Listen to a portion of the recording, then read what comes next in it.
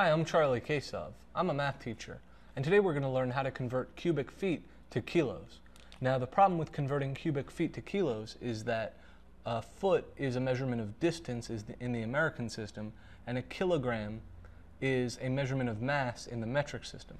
And a cubic foot is a measurement of volume, which is also not a measurement of mass. So, if we say one foot cubed and we want to convert to kilograms, we have to change both the uh, system from American to metric, and we have to change volume to mass.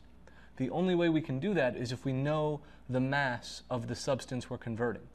So, for example, with water, where we know the density, uh, we can say 1 cubic foot equals 28.316847 kilograms. But with different substances, that conversion will be different. So I'm Charlie Kasov, and you just learned how to convert cubic feet to kilos. Thanks a lot.